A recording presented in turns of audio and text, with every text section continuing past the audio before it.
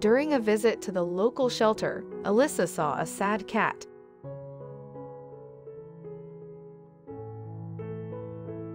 The cat was obviously depressed and shouldn't have been kept in a cage.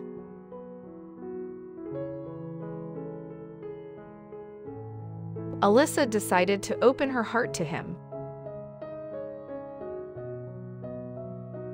She soon discovered the true nature of the cat.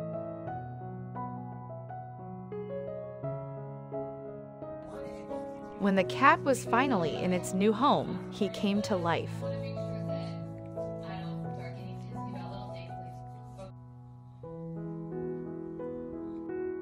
He was named Otie.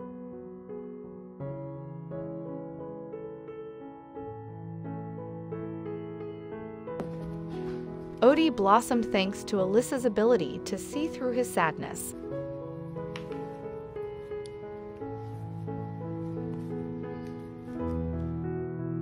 While Otie certainly has a lot to be thankful for, it is Alyssa who feels lucky.